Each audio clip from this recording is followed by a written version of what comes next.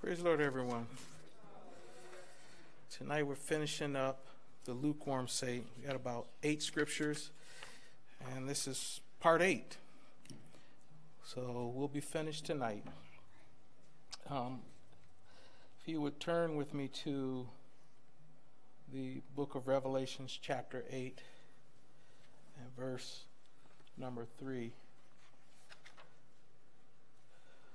One of the things that we are striving to do is to make it to heaven. I cannot for the life of me understand what the point of all of this would be. Going through what we have gone through, sacrificing, self discipline, just to go to hell. I, I think about something that um, Sister Lori said in her message Sunday. I don't want to suffer now. I don't want to suffer at the hands of the devil just to go to hell and suffer with him. Uh, that, that's not my thing at all.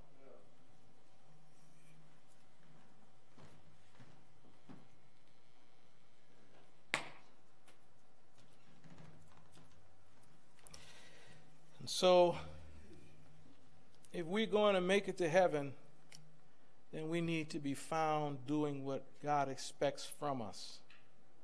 Yes, ma'am. Chapter 3 and verse 18.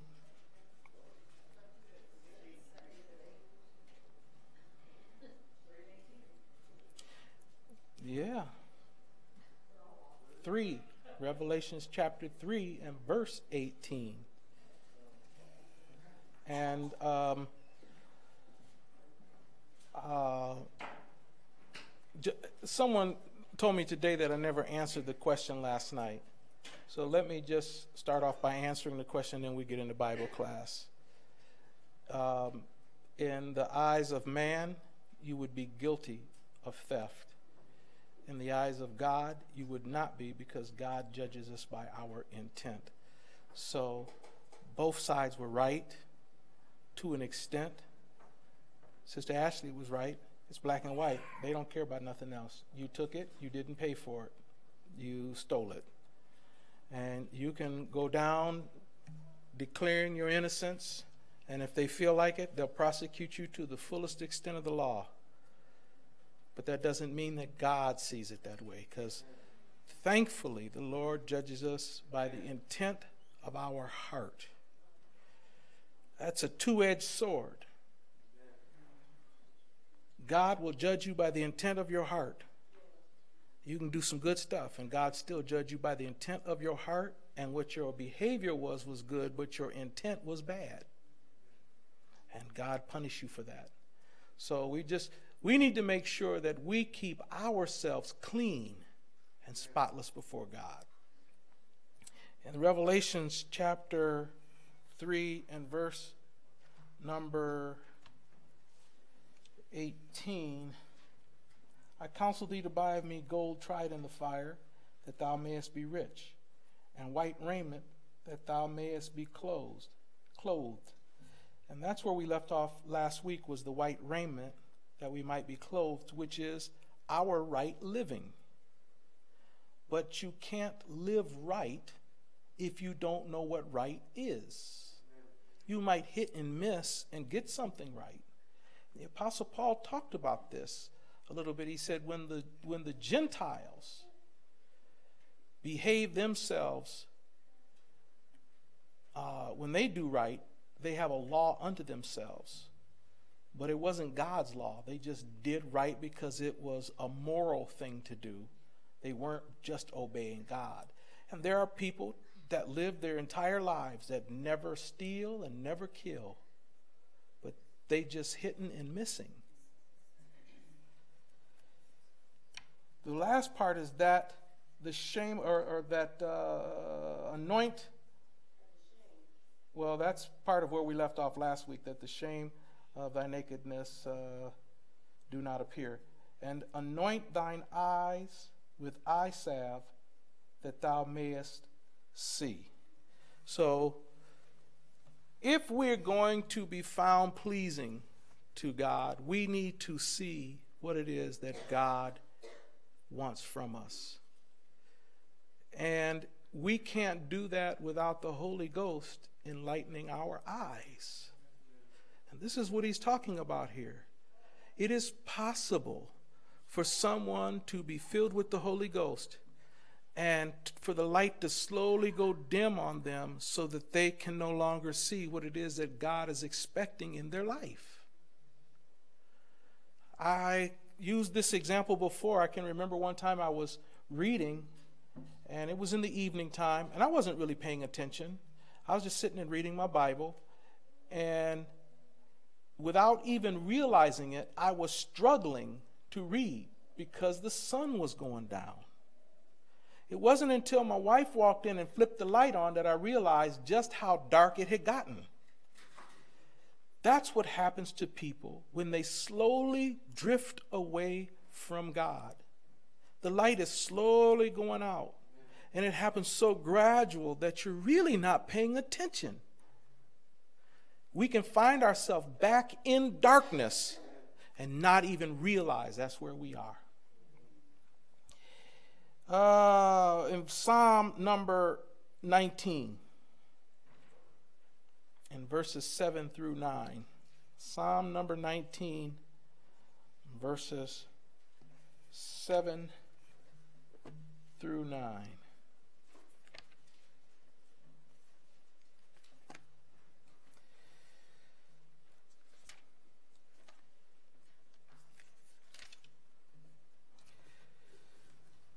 Law of the Lord is perfect, converting the soul. The testimony of the Lord is sure, making wise the simple. The statutes of the Lord are right, rejoicing the heart. The commandment of the Lord is pure, enlightening the eyes. The fear of the Lord is clean, enduring forever. The judgments of the Lord are true and righteous altogether. So now let's just go back and, and look at what he's saying. The law of the Lord is perfect. There are times when, and you can tell when someone is slowly starting to drift away because you can quote the Bible to them and they still won't accept it. You can see sometimes they're struggling to accept it. You can show them black and white in the Bible, it says, Thou shalt not whatever. And they will say, But what if? And start to pull apart the Word of God. Now, I try to be very careful. I don't, I don't uh, come up with rules just to be having rules. I don't come up with things just to say that this church has rules that we follow. We do, but I don't do that. I don't just sit down and say, well, you know what? These, these, uh, these blue shirts just don't look right. So from now on, we don't wear blue shirts in the church. Well, that, that's silly. And if someone was to come and ask me, why don't we wear blue shirts? And I don't have any Bible, then generally my response will be either because I said so or uh, well, you trying to challenge the church? You you trying to challenge the Word of God? I like to have some word to back me up. If I'm going to say you wrong for something, it needs to come from the Bible.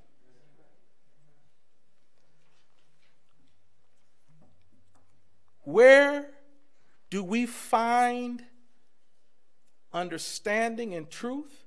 In the law of the Lord. The law of the Lord is perfect. What does it do? Converts the soul.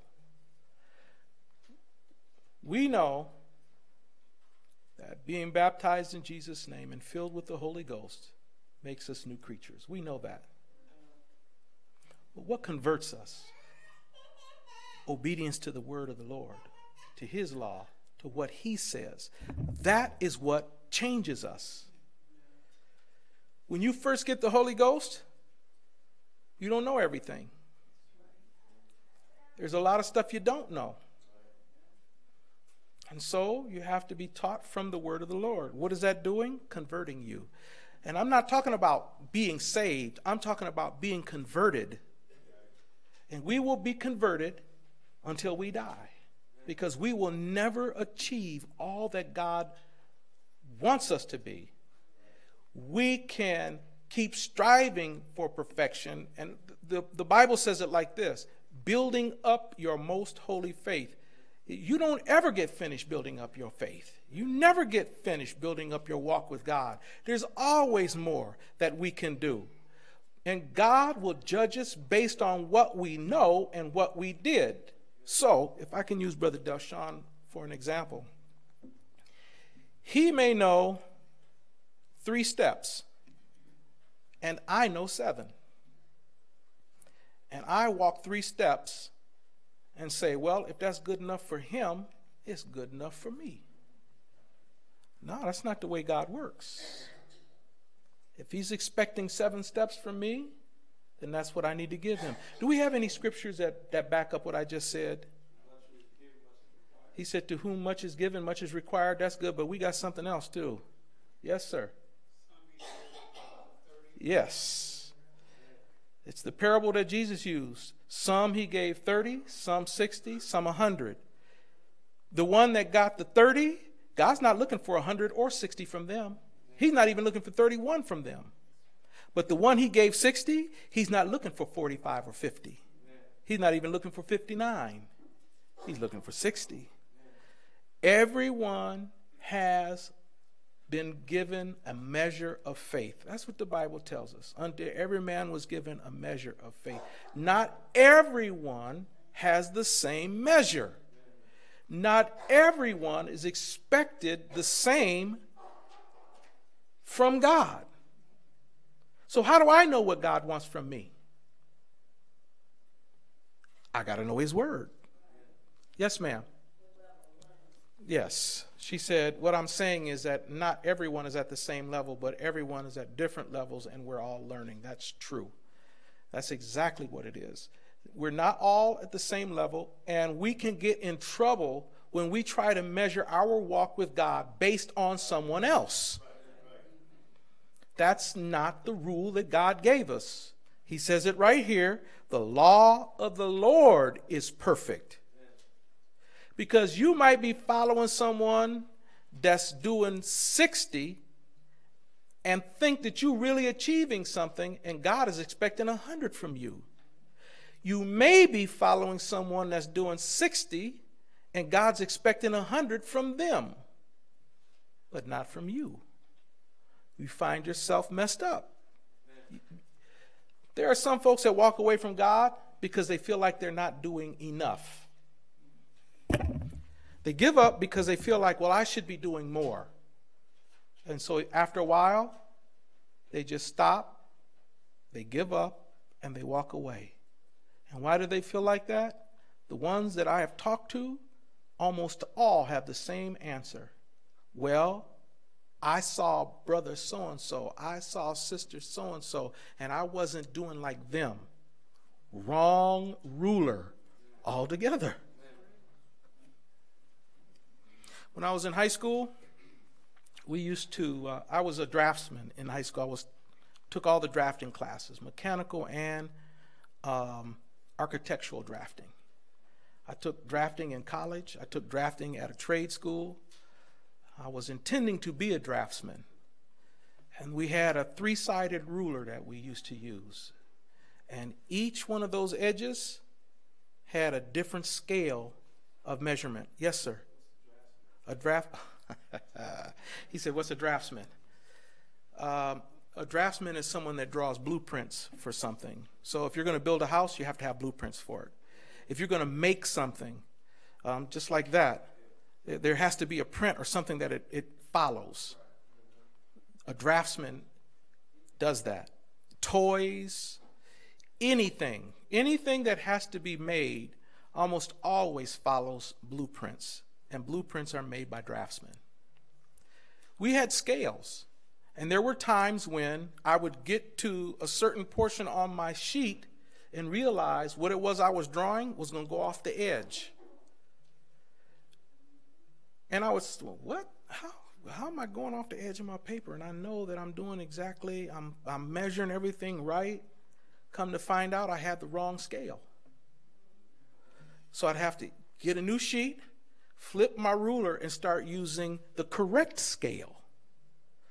People do this in their walk with God. If you use the wrong scale, you'll find yourself out of bounds. You'll find yourself off in your walk with God because you're using the wrong scale. What is the right scale? The law of the Lord. The law of the Lord is His Word, the Bible. This.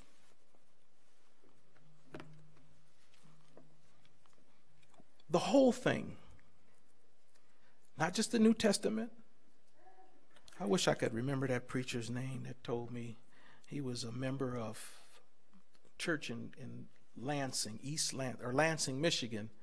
When I was going to Michigan State, we would Elder Warren would come and have the van come and pick us up and take us to church. And this, this preacher was our Sunday school teacher. And he would say, if it ain't in red print, I don't believe it. He only believed in what Jesus said. That was it. He didn't understand that Jesus was the Word, black and red. He was all of it. We used to think it was funny. But if you want to be saved, you got to believe the red you got to believe the black, the new, and the old. You got to believe it all. We have to, all of it is given for us so that we can know not just how to live, but we can see the mistakes that others have made. For a long time, I had the mindset of they just didn't know what they were doing. I can do the same thing and make it work and I'd crash and burn just like they did. If anybody, if anyone in here has ever been a child, I'm sure you have had the same philosophy. Because mom or daddy said, don't do whatever because this was going to happen, it's going to be bad. And they end up doing it anyway. You know why? Because they felt like, for whatever reason, they knew how to make it work. I used to think my parents were dumb till I got older. Then I realized, um, as Mark Twain said it, the older I got, the wiser they became.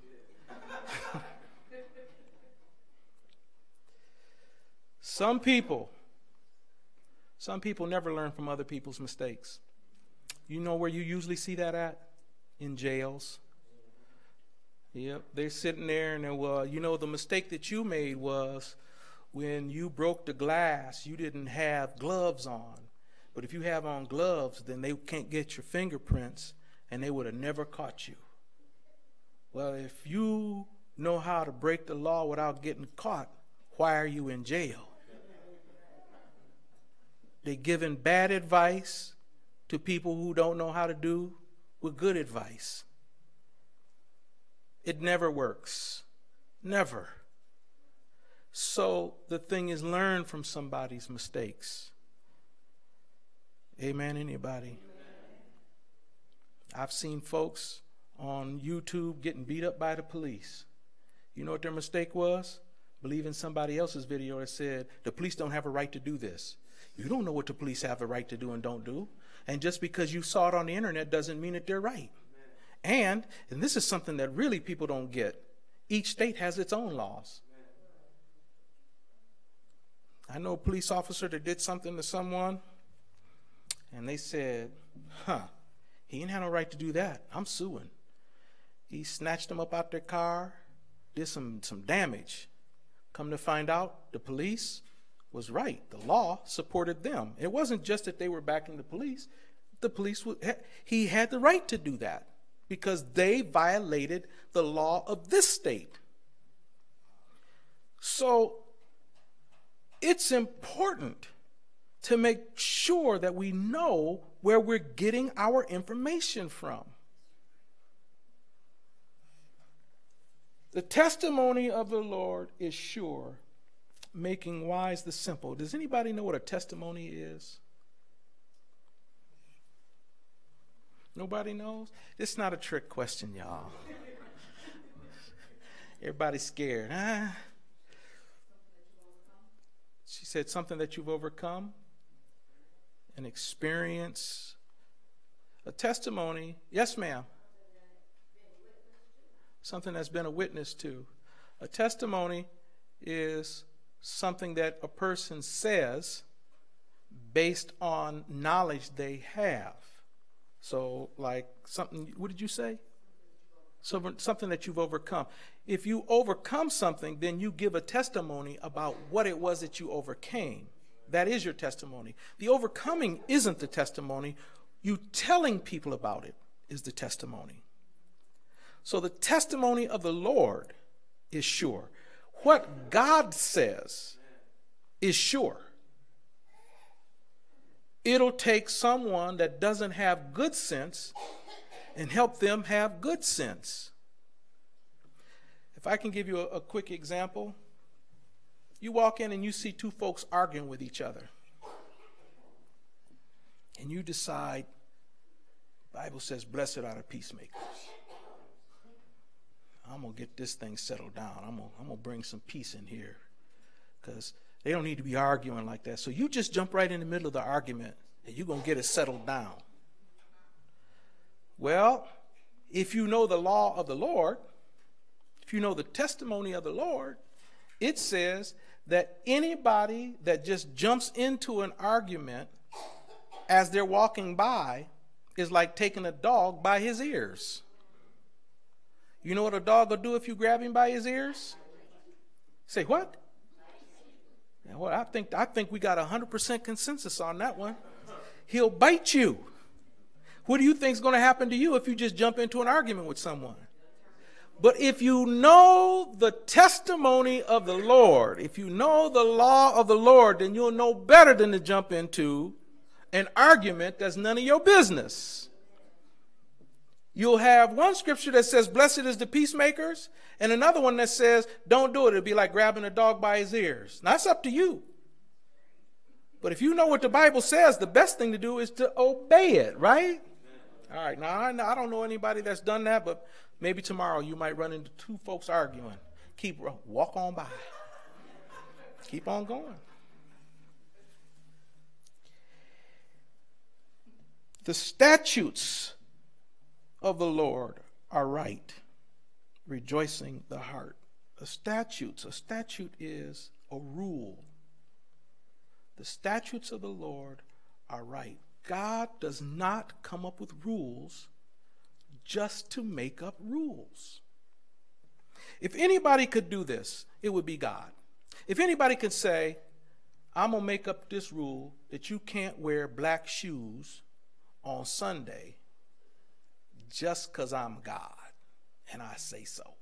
He could do that, couldn't he? But he doesn't even do that.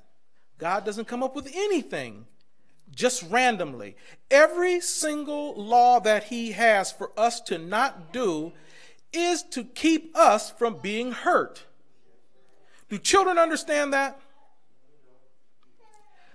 When I was a child, we used to uh, we used to sneak down by the railroad tracks and put nickels on the tracks because somebody said that if you put a nickel on the railroad track, you'll derail the train. So we were determined that we was going to derail a train. So we would put the nickel on the track and we'd run and hide, just waiting for the, the, the train to fall off the tracks. Never happened. Should have kept it. You're right. When we, when we realized that nickels weren't working, we would put rocks on there.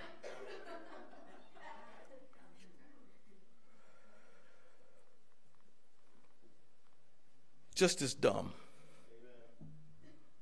Um, either the train would knock it off the edge of the track or just crush it. But by the time the train went by, there was nothing left, not even powder, not even a nickel. It was all gone.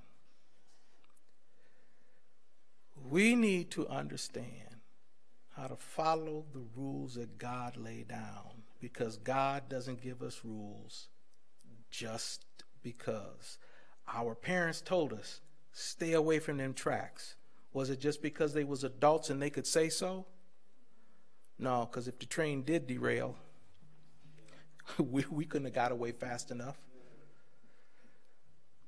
They, our parents told us, stay away from the street.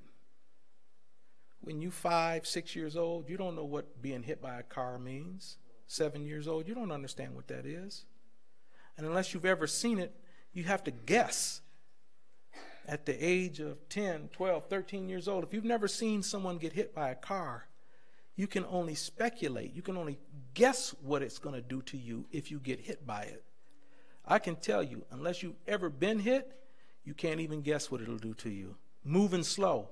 I've been bumped by cars going less than five miles an hour, and I knew I had been bumped. I wasn't expecting it. I can't imagine what it would be like 25 or 30 miles an hour. The statutes of the Lord are right. So, why do people then come and say, I don't see anything wrong with that? Why can't I? Do you know why they do that? Because they don't believe that God is right. Well, I guess I'll move on because that, that, that drew nothing. Not even a head shake. The statutes of the Lord are right. And when you understand that they're right, what does it do? Makes your heart rejoice. You understand that God's laws, his statutes are not just out there, but God is doing it to protect me. Now that I'm grown, I've told many a person, I'm glad I got spankings when I was a kid. Had I not got them, I'd have been really, really bad. I'm glad. I didn't like it when I was getting them. But now that I understand why and what it did, I'm happy. I'm glad that my parents did that. At the time, if if if one of them would have got a beat down their own self, I'd have stood and watched and, and grinned because I didn't understand. But now I know. Now I know what it did, how it changed me. Someone someone just said something to me the other day, or, or it wasn't the other day, but a while ago. I, I said, they asked me a question and I said, uh, sir? They're like, oh, you don't have to call me sir. You grown. I said, it's, it's just an ingrained, ingrained habit. That's the way I was raised. It put it in. They, my parents put that in me. Yes, sir. No, sir. Yes, ma'am. No, ma'am. Their name wasn't what? My grandmother only had to get me once over that about her name not being what. And you didn't stay in the living room to see what they had to say. You got up and went out to see what they wanted. So when your name got called, it was, yes, ma'am. And you was making way over there. Now, this ain't a parenting class. I'm just saying that's the way we were raised. And if you didn't do it, you got a whooping. I got smart with my grandmother one time without even realize I was I was getting smart. I didn't even know it. She, had some rice and, and wanted me to eat all of my rice that was on the plate, and I was full. And she said, There are children starving in China. I said, Well, why don't we box it up and send it to them? Y'all right. It was, oh no. And my, my head, from getting slapped. She about put my forehead on the, t- on the kitchen table. Hit me so hard. You think I ever talked again without thinking about what I was saying? Oh no, not unless I was a good distance off. But I knew even then, if they said, Come on over here, I'm going to get a whipping. All of that did something to me. It wasn't bad, it was for my good. When God gets us, when He has all these rules, it's not to punish us, it's not to make us not have, it's to protect us. He goes a little bit further. The commandment of the Lord is pure. Doing what? Enlightening the eyes. Now, how do I see? by understanding the commandments of the Lord. Now I can see what it is that God is saying. When you read your Bible and you find out the mistakes that some of the children of Israel made, you can learn from their mistakes and not do the same ones. It enlightens your eyes to see what God said. God commanded them to do something and they disobeyed it. It's enlightening to your eyes. The fear of the Lord is clean, enduring forever. When he says fear, he doesn't mean scared, he means respect. The respect of the Lord is clean, enduring forever. The judgments of the Lord are true, righteous, and righteous altogether. How many in here are glad that God's judgments are righteous? I am. There's going to be a whole lot of folks someday that's going to be sorry that his judgments are righteous, that God's judgments are right. They will be very sorry. You know why? Because they've spent their whole lives or a portion of their lives trying to justify their walk with God, not learning his commandments, not learning his statutes, not learning his ways, not learning his word. They spent their time saying, well, the way I see it is, and then make up something and then they try to persuade God that's what it is. But the judgments of God are righteous. He's not making mistakes. And he's not persuaded. He's not bullied. You can't offer him anything to make him disobey or to go back on his word. Nothing you can offer God in the book of Ephesians, chapter 1.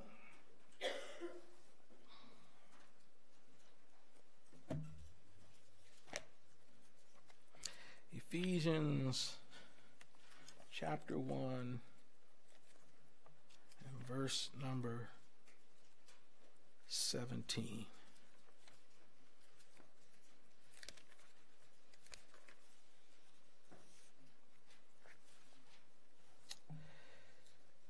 that the God of our Lord Jesus Christ, the Father of glory, may give unto you the spirit of wisdom and revelation in the knowledge of Him. Now, this is what Paul is asking for for the church that the spirit that the Lord give you the spirit of wisdom and revelation in the knowledge of Him. In the knowledge of who? In the knowledge of God. The more I know about God, the easier my walk with God is. My parents had a lot of rules for me when I was a child. Had I understood why those rules were there, it would have been easy to follow them. I didn't understand why we weren't allowed to cross over the railroad ties in the front yard. But on the other side of those railroad ties was a highway. It just seemed like rules. Had I understood the danger of being on a highway, then staying on this side of the railroad ties wouldn't have seemed like such a bad thing after all.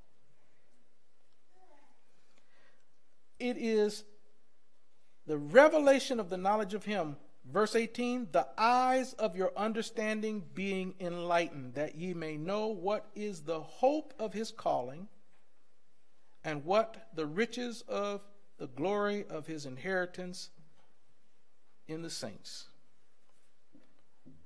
So that my, my eyes might be opened. We're talking about the eye salve, right? That we should have eye salve on our eyes. That's what the Holy Ghost does for us. The Holy Ghost gives us an enlightenment, allows us to see. That's what the word enlighten means to have light put on something so that you can see it. Second Peter.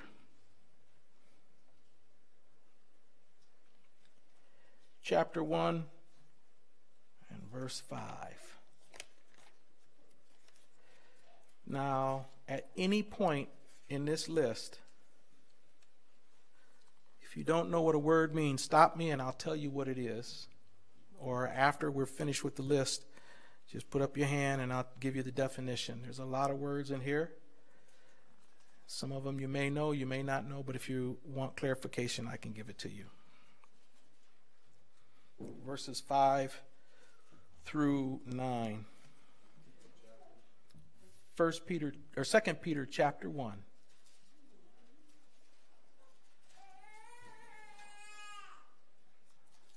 Verse 5 through 9.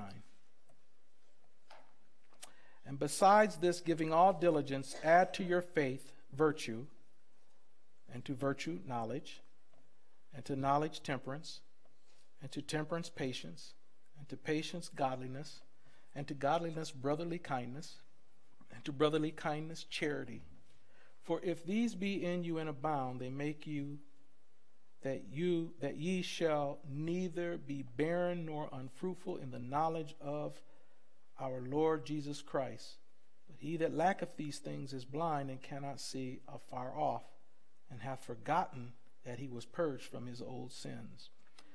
Now he starts off with this. And besides this, besides what? Verse 4 Whereby are given unto us exceeding great and precious promises, that by these, or by these promises, ye may be partakers of his divine nature, having escaped the corruption that is in the world through lust. We were given exceeding great and precious promises by God. What are those promises? That we could live a life of holiness, that we will be his bride, that if we remain faithful and holy, that we will be able to go to heaven that we will be with him throughout eternity. World without end is the way I think Peter puts it. World without end. We will have everything, that we will no longer have sorrows or grief or problems, no more hunger, no more crying, no more anything, no more pestilence and disease, no more aches and pains. All of this will be gone away. That is the exceeding great and precious promises that he has given us. But he said, don't stop with just the promise. Give all diligence, add to your faith. I've got to add to my faith. I cannot just be satisfied with what I have. I have to build up my faith and add to my faith virtue to virtual knowledge. And he goes on and he gives this entire list of all of these things. Why?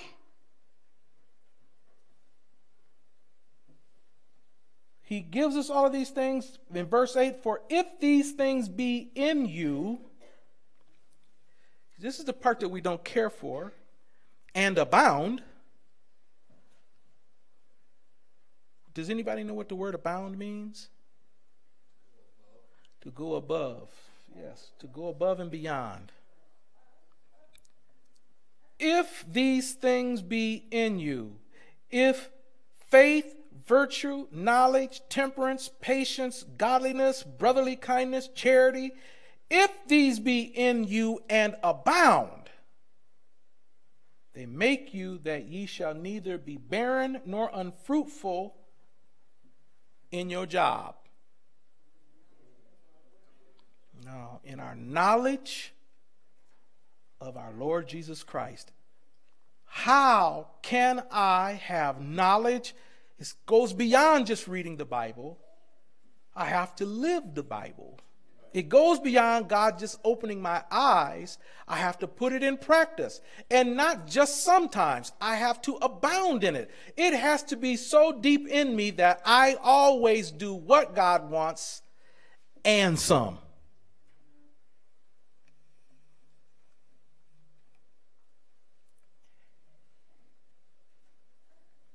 He that lacketh these things is blind and cannot see afar off, and have forgotten that he was purged from his old sins. He that lacketh these things are blind, but not blind like you would normally think, because he goes on and says, and cannot see afar off. So it's not that you can't see at all. What is a person that cannot see far off? That's someone that can only see up close, right? You say nearsighted? I don't know. I thought they was the opposite. If you're far, so if you're nearsighted, you can only see things that are far away, or you know what?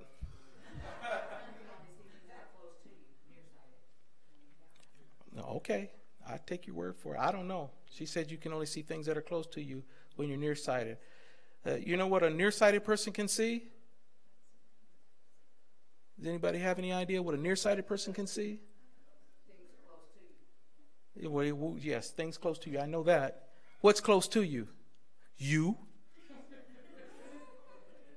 A nearsighted, a person that can't see afar off can only see their self.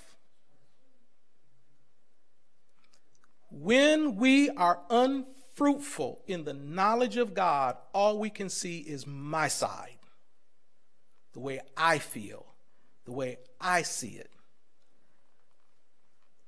When you come across somebody and you give them the word, and their answer is, but they did this to me, what are they, what are they saying? I'm nearsighted. I can't see afar off. I can only see me. Uh, can I say this? I had a saint do something one time, and I told them, What you have done is wrong. You need to go back and restore what it is that you did wrong. A year later, um, they came to me and told me someone had restored what they had done themselves. They just did it. And they was mad. And I said, But I told you a year ago to fix that. Well, then they started listing off all the things that the person had done to them and why they wasn't going to do it. You know what that is? I can't see afar off. All I can see is me. I can't see what God's word says. I can't see that what I need to do is what the Bible says do.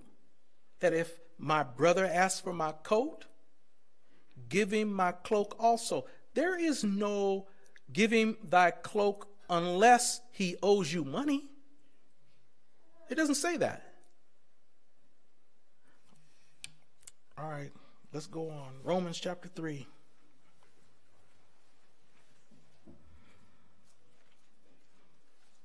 I had a saint tell me one time when God saved me, He didn't save me from a lot because I really wasn't doing anything. All right, how about this? Romans chapter 3 and verse 10. As it is written, there is none righteous, no, not one. Who's going to stand before God and say, I really hadn't done that much? You know what he's interested in? Your righteousness.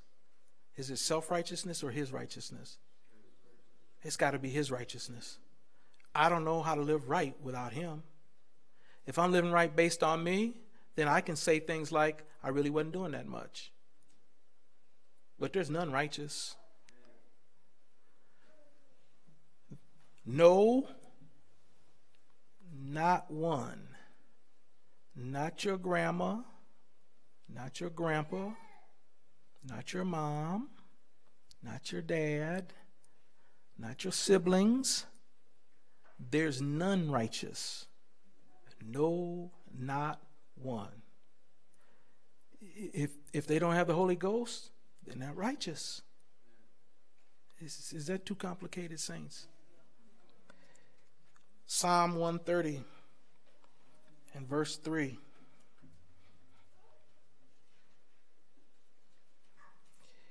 If the Lord should mark iniquities, O Lord, who shall stand? If God was to mark, if God was to point his finger at what's wrong in our lives, who would be able to stand upright before God? Consider this the Lord said about Job, he's perfect and upright and he fears God and he hates evil. That's what God said about him. Perfect, upright, fears God, hates evil. But when God started to mark iniquity, could Job stand? Nope. Even though he was perfect,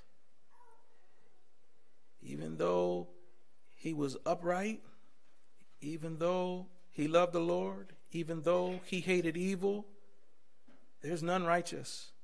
No, not one. Not even Brother Job. And when God starts to mark iniquity, you better hope you got the Holy Ghost. You better hope that you live in it. Galatians chapter 2 and verse 18. For if I build again the things which I destroyed, I make myself a transgressor. Transgressor. If I build again the things which I destroyed, what things are he talking about? Is is uh, Paul talking about when he wrote this to the churches of Galatia? If I build again, when was something destroyed in their life?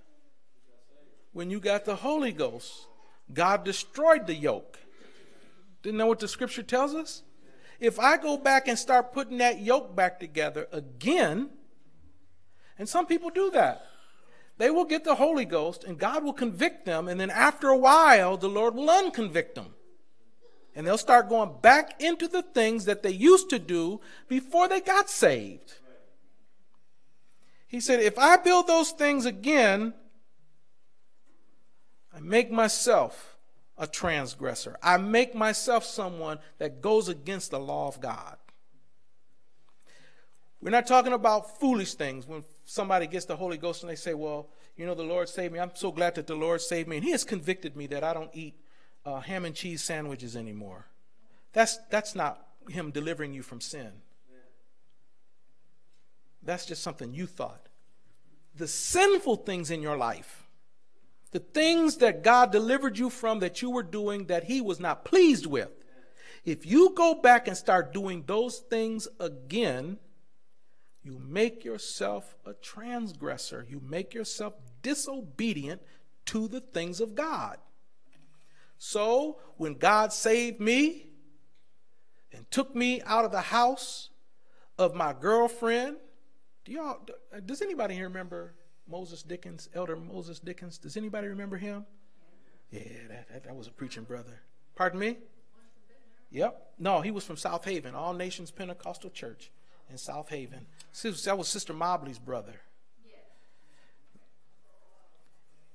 I remember him saying he went to church one night, got convicted, went up and got baptized, got the Holy Ghost, went home, packed his bags, and his girlfriend said, Where are you going? He said, God has filled me with the Holy Ghost.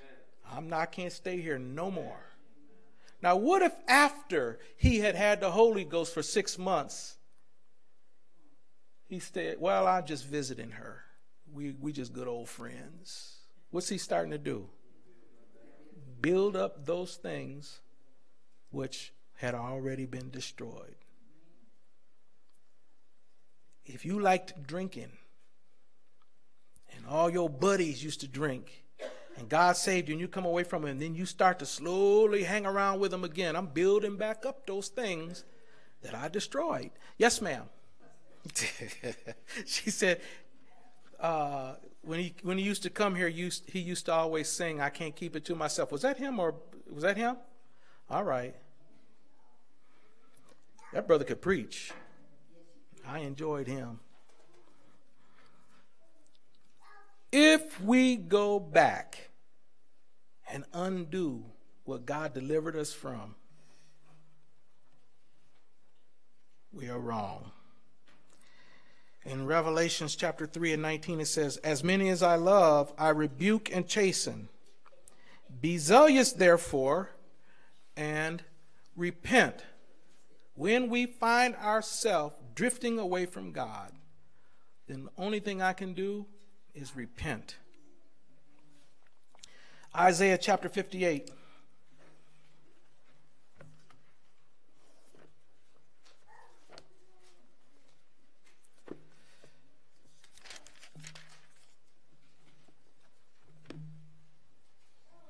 Verses 1 and 2, and then 13 and 14. Cry aloud, spare not. Lift up thy voice like a trumpet, and show my people their transgression, and the house of Jacob their sins.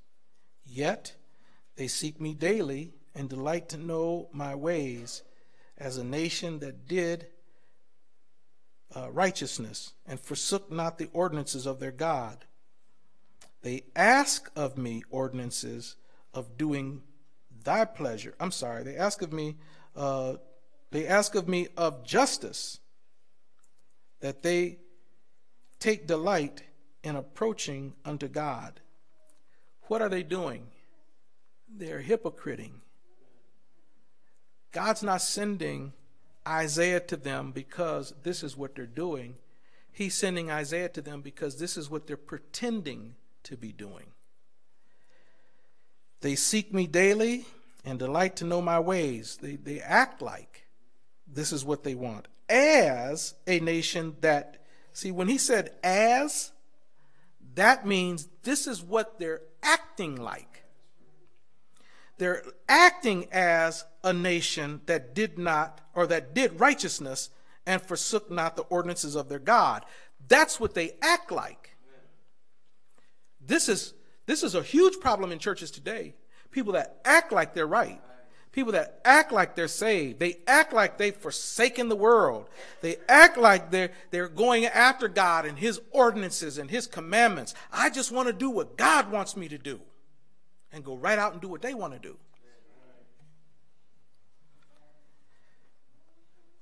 I I just want to sit and listen to Bible class so I can see what it is that God wants. Whole time I'm doing wrong. God knows the difference. And then he goes on in verse 13. He deals with their wrong and then says, This is the cure, this is the fix. If thou turn away thy foot from the Sabbath, from doing pleasure, doing thy pleasure. So if you turn away your foot from the Sabbath, from doing your pleasure on my holy day, if you stop doing what it is that you like and come to church when you're supposed to come to church, and call the Sabbath a delight. Some folks come to church on Sunday already trying to hurry up. How long, how, how long is this going to take? They come in like that.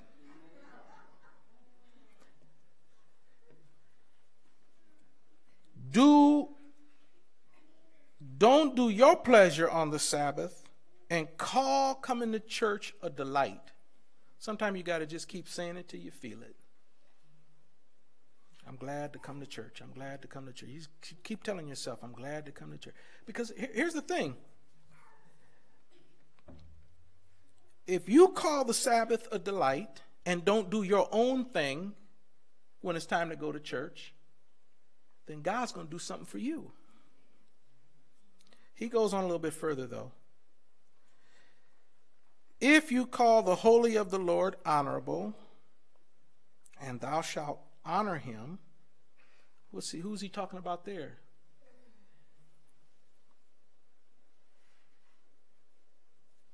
No, no, no guesses, huh? Y'all, that's scared. Who's the honorable? Um, who's the holy of the Lord? The saints. Come on, you can get a little closer than that, though. The preacher. See, some folks come to church. Oh, I'm glad to go to church, but I don't want to hear what the, what the pastor's preaching today. I don't got no time for that. I'm not making this up. This is in the Bible. If you call the holy of the Lord honorable and shall honor him, that see, here's what we'll do. And this is the reason why I've said this all along. This is the reason why I don't want no pastors' anniversaries. Because I don't want nobody getting up and lying. Some folks that get up, I just love the pastor. lying through their teeth. I'm not interested in that.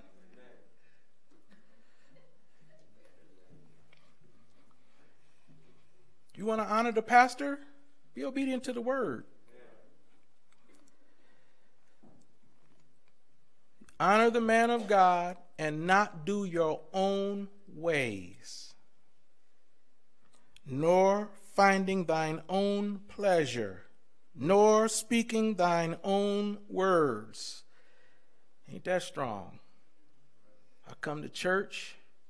I'm not trying to find my own pleasure. I'm not trying to walk in my own way. I'm not speaking my own ideas. That is a real problem today.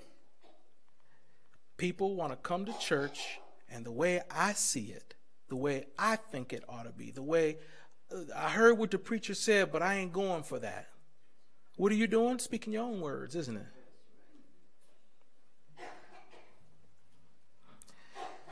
If you can do that, then, verse 14, then shalt thou delight thyself in the Lord, and I will cause thee to ride upon the high places of the earth, and feed thee with the heritage of Jacob thy father. For the mouth of the Lord has spoken it. Now, if God spoke it, what is that? Is that a testimony? Testimony of the Lord? I said it.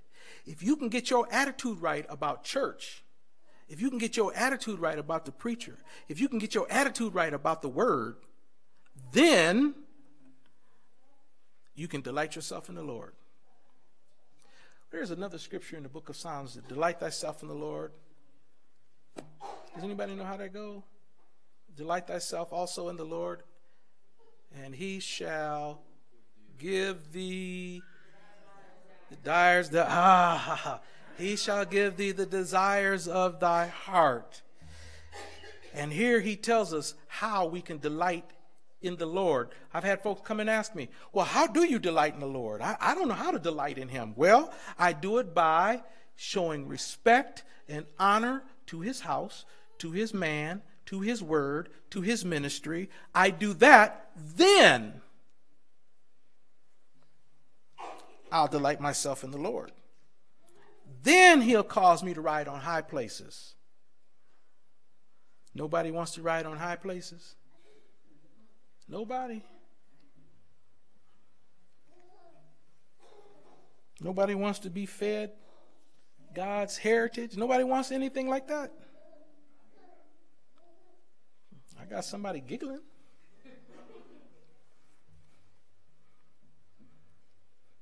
This is what it takes. You keep watching people on TV, you keep looking at videos on YouTube, you keep reading what other folks have to say on the internet about church and about God and about preachers. You keep doing that, and you'll poison your own self out of blessings from God.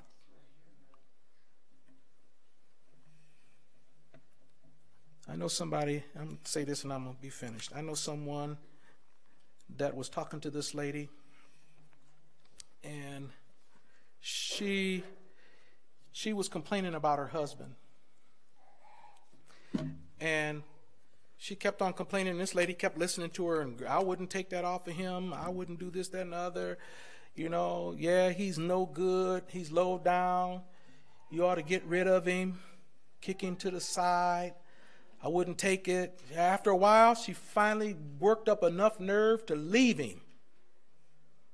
And the next thing you know, the woman that talked her into leaving him took him.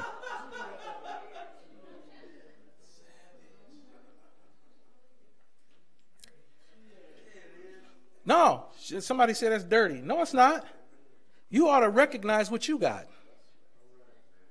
You ought to appreciate what you have. Don't let people talk you out of. Christ Temple Church is a good church. We love each other. We get along with each other. We like a family. Wow. I love this place. I do. I don't know any place else I want to be than right here. I love the ministry in this place. Our preachers, I think, are better than all other preachers. We have a tremendous church. I get compliments in the street all the time about this church. Somebody just told me the other day, it looked like the saints is really being obedient to the word. They are really doing well, young and old. Everybody's doing good. Now, I know we have our little kind of nibbing going on here and there because that's just human nature. And we have to we have to fight, not fighting each other, but you come in here, there's no I can remember when if depending on what side of the church you was, folks on the other side wouldn't speak to you. And that was in this church. I remember that. You you had to pick the right side. And it depended on who was sitting on that side that determined which was the right side. So if they sat on this side of the church, everybody that came in better sit on that side. If they sat on this side, then you better sit on this side. Because if you sat on that side and they were over here, that's because you was against them. Oh, there was a huge contention going on. We don't have nothing like that. Nothing. We get along well with each other. Old, young, rich, poor, black, white, Hispanic, all of us. Folks dress good, folks that don't dress good, folks that look pretty, Folks that look prettier. we all get along. I tell folks that all the time. I'm, I'm grateful for the church that God allowed me to pastor. Because I don't have to deal with the headaches a lot of these other preachers are dealing with. Folks trying to take over, folks trying to get them shut down, folks trying to cause problems, cutting off their tithes and offerings and, and calling the law on them and all kind of stuff. I'm glad we don't have to deal with any of that stuff here. Don't let nobody talk you out of what you have. Sometimes you can be so into you that you don't realize when you got something good. This is a good place. Amen. I'm not just saying that because I'm the pastor. I'm saying it because I feel it here. I mean, this is a place of love. All right. Any questions? Comments? Yes, ma'am. Um, her question is dealing with um, the different levels that people have the 30, the 60, and the 100 fold. And she, the question is, what do you do with that? There when you have an ability to do something for God and you don't do it, that's when you're in trouble. It doesn't mean that you have to be at the church every single day doing something. It means that when you have an ability given by God, you use that ability for God. So there are some, for example, myself. If you don't give me a calculator, I'm not going to get five or six numbers added up together correctly. And if you give me the calculator, I still might get them wrong. I used to do my checkbook, and after bouncing checks a couple of times because I miscalculated or double added numbers that wasn't supposed to be there, I had turned over to my wife. She had an ability that I didn't have. So I'm using that as a natural example, but that's the same thing that works in the church. There are some who have talents that have abilities in the church, and they just sit and won't do anything. Well, if they don't ask me, I ain't going to do it. We should be doing what we know to do. So if I have an ability to run a vacuum sweeper, let's say that's my gift, I really know how to run vacuums. Well, then I should come to the church and say, hey, can I run a vacuum too? Because I'm pretty good at running a vacuum. That's part of my 30 or my 60 or my 100. Some people are very talented with things, and we should be using it when we are asked or when we know that if there's a need, we should be using it for the edifying of God's house and his people. I hope that clears it up. I mean, there I don't know how to give an example other than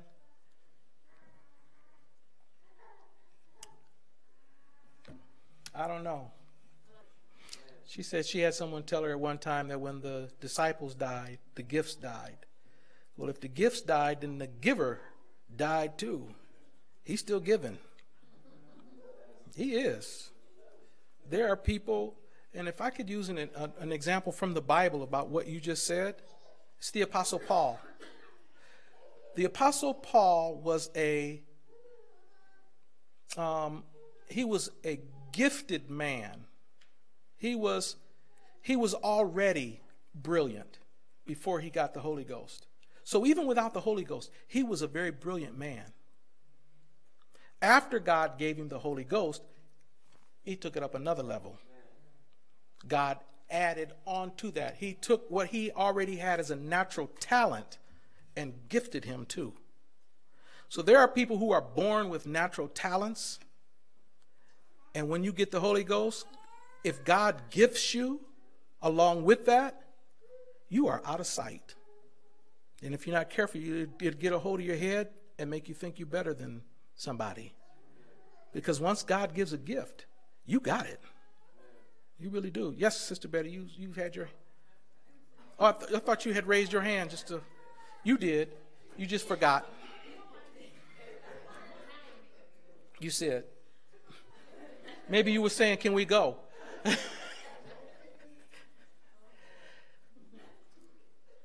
if you have, if you see someone at the church, if you know that you have an ability to encourage people, and you don't use that ability to encourage God's people, that's taking what He has given you and wasting it.